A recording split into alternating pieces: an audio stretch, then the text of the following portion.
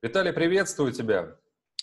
На очередном видео анализ технический и фундаментальный, поиск самых интересных и лучших торговых решений для всех тех, кто следит за нашим каналом и интересуется э, нашей с тобой э, аналитикой.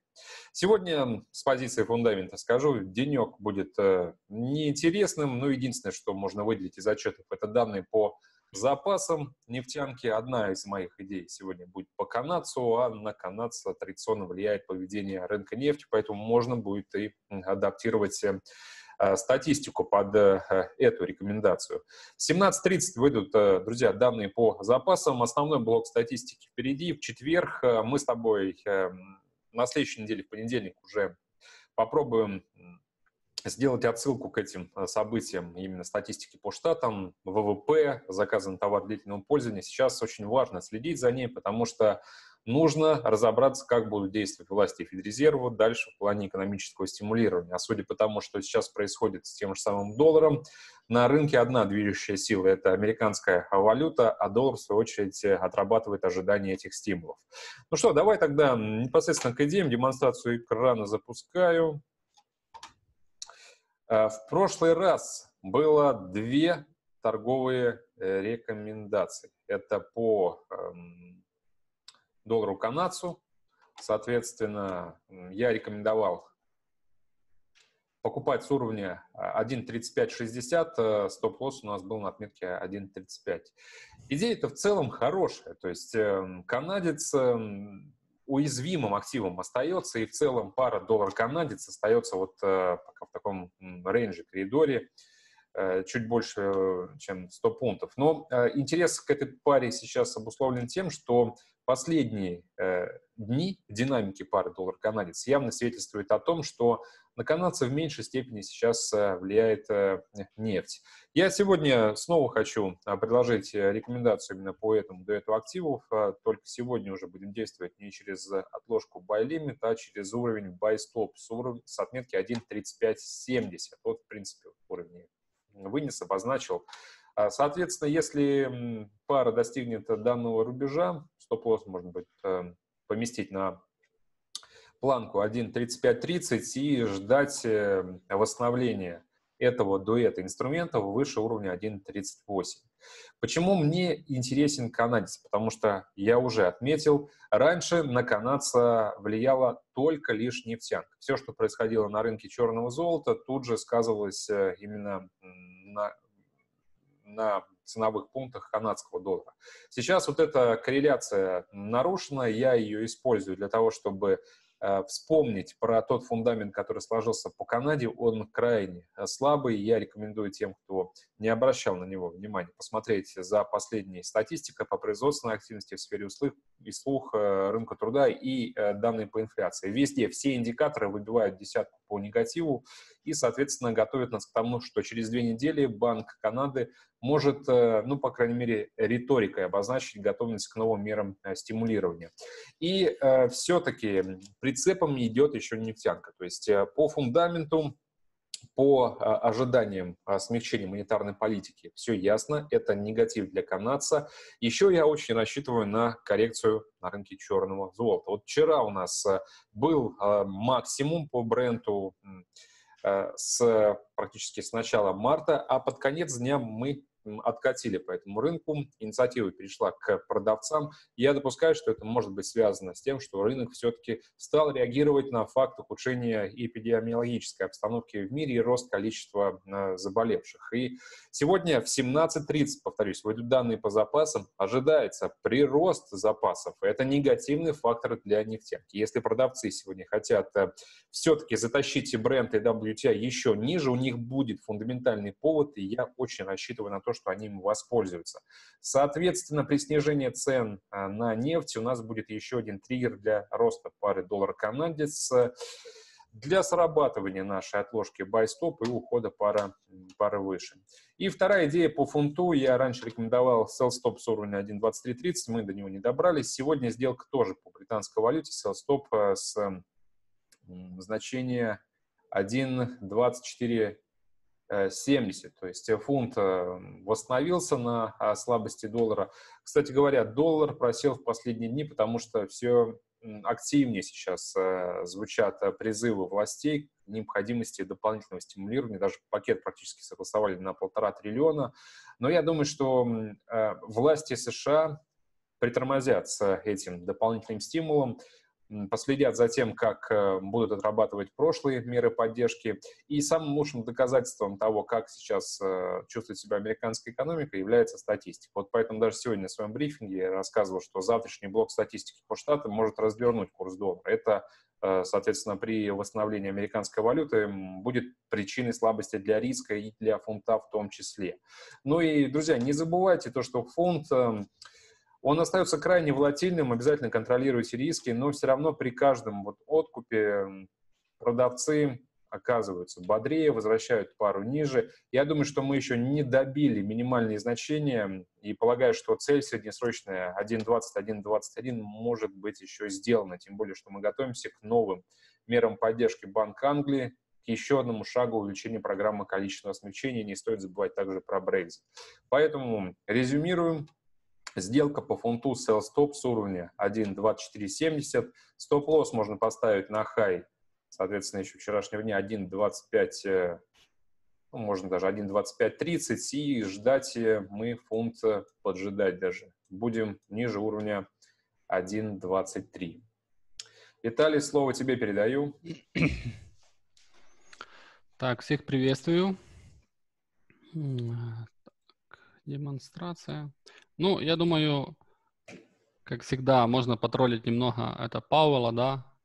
Доллар снова слаб с, прошлого, э, с прошлой нашей битвы, да, э, с понедельника, потому что... Так, вот у нас э, видно график? Да, все отлично.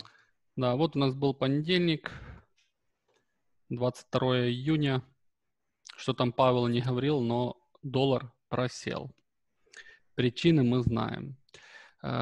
Э, а, итак, пройдемся сейчас э, по тем идеям, которые я говорил э, в прошлый раз, а, и дам новые, как всегда, идеи.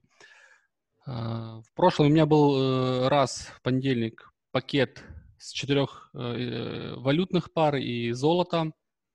Четыре валютные пары все были против доллара. Начиная с индекса самого доллара, я говорил, что можно было вот у нас понедельник, утром в 10 вот здесь у нас была битва, что можно было шортить со стопом за хай пятницы, и снижение, в принципе, неплохо отработалось. Я жду пониже, ну, скажем, подошли к, сильной, к сильному уровню поддержки. Отсюда может произойти все, что угодно, даже лонг. Достаточно или коррекционный, или, э, скажем, более, более сильный, нежели вот такие значения 97,6. Поэтому те рекомендации, кто использовал по индексу доллара, можно здесь э, закрыть все или там оставить хотя бы 20% без убытки и посмотреть, что будет дальше. Также была рекомендация по э, доллар-франку, аналогично. У нас получается вот на этих значениях мы торговались в районе там 95 с копейками со стопом за хай, то есть снижение, оно, в принципе, неплохо отработалось. Аналогично, как по индексу доллара, можно там 75% закрыть, э, немножко оставить. Э, дальше был канадский доллар. Аналогично на шорт.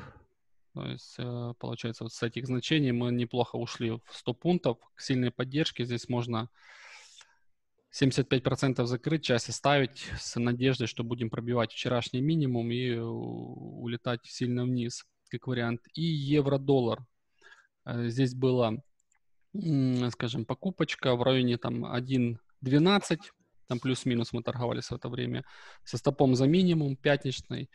Э, в принципе, мы ушли неплохо, примерно там а, полторы фигуры.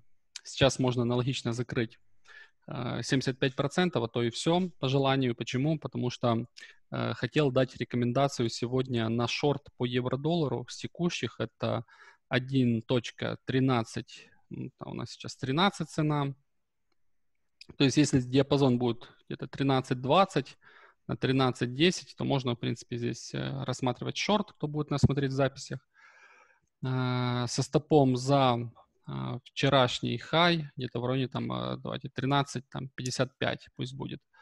13.55 и профит э, плавающий. Можно, ну, первую часть где-то смотреть в районе там 12.55 и дальше уже наблюдать, посмотрим, э, что из этого получится. Это будет э, всего-навсего откат какой-то а, после импульса, который был понедельник, вторник, или это будет а, зарождаться новая тенденция на смену вот этого глобального а, тренда, который идет лонговый по евро.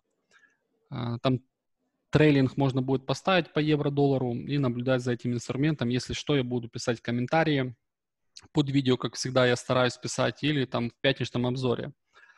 То есть это первая идея на сегодня, плюс э, я давал рекомендации по золоту на шорт. А, лимитка у меня была sell stop по цене 1742. Мы ее не добили, очень повезло. То есть минимум был, получается, в понедельник. А, минимум был 1742,7, э, то есть 70 центов. Так бы был стоп, но, в принципе, я правильно определил уровень. А, за которым нужно наблюдать. И так как закрытие не произошло ниже данного уровня, мы закрылись в понедельник выше, и золото ушло наверх. Поэтому на текущий момент по золоту я буду вне рынка, буду за ним наблюдать а, и следить за уровнем 1744,5.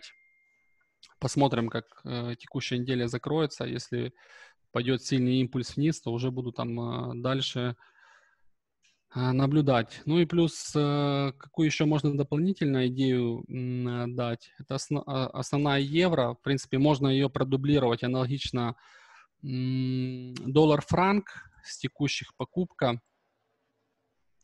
У нас цена это 0.944 а, со стоп-лоссом в районе там 0.9410. И профит аналогично плавающий, то есть смотреть, э, что из этого получится, если будет сегодня сильное движение импульсное, то можно будет говорить, что это будет продолжаться. Если какое-то будет медленно идти, то, в принципе, нужно будет там уже закрываться и так далее. То есть э, наблюдать за текущей ситуацией. То есть есть две идеи, ну и плюс э, хотел обсудить нефть, так вкратце, потому что многие спрашивают, что там с нефтью. Все время я так и не понял, ее шортят, то есть последние два месяца. То есть там в комментариях ребята все время пишут э, под видео, под каждой битвой э, или даже обзоре, когда будет шорт, когда там, на чем она растет. Но я уже много раз рассказывал, что это спекулятивный инструмент. Э, денег напечатали, вливается в рынок. Просто технический отскок после такого падения, грех просто не отскочить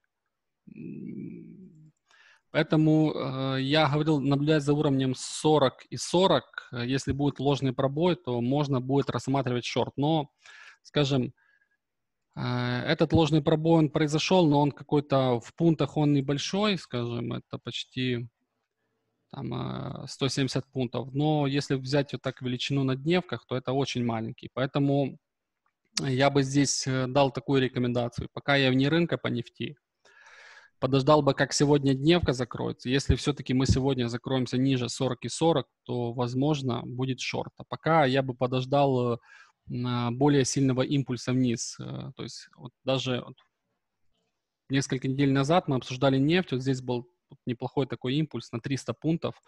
После этого сформировали коррекцию, мы ушли немножко вниз, там, на 400-500 пунктов.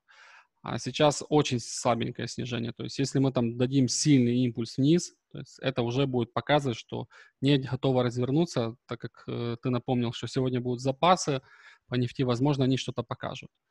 То есть э, зададут тон, скажем, э, э, возможно, среднесрочный какой-то. Поэтому я пока буду вне рынка, то есть моя рекомендация будет, но если будут какие-то изменения, я буду держать в курсе. Шартов каких-то на 5 баллов я пока не вижу. То есть по этому рынку. И их не исключаю, потому что есть ложный пробой технический, но он не тот, который я бы хотел. Мы даже, вот если так посмотреть на дневках, мы даже не смогли вчера перебить позавчерашнюю свечу. То есть это пока то есть здесь, ну, есть какой-то небольшой откат, но он ничего не показывает. Хотя бы сделали вчера, допустим, вот такую дневочку, как вот здесь, да, то это бы о чем-то говорило. А так, наблюдаем сегодня за 40.40. .40. Если сегодня закроемся ниже, хотя бы там до конца дня, э, ближе к новостям, можно будет небольшим объемом пробовать. Э, я уже там, если получится, то когда запаса будет где-то в 5 или 6. 17.30. Да, 17.30. Получается, ну, возможно, что-то ближе к этому времени, если проторгуемся больше под уровнем, то я что-то напишу, то есть там дам какие-то, возможно, точные более рекомендации. А пока по ней боюсь давать черты, потому что здесь тренд очень-очень сильный, аналогично у нас по бренд, а, тоже тренд сильный, а чтобы развернуть такой тренд, нужно хороший импульс э, вниз и на коррекции уже искать точку входа в шорт. Спасибо тебе, Виталий, за комментарии. Ну что тогда, давай следить за рынками. Соответственно, следующая встреча у нас в понедельник. Хорошего тебе закрытия недели и хороших выходных. Пока. Спасибо, до свидания.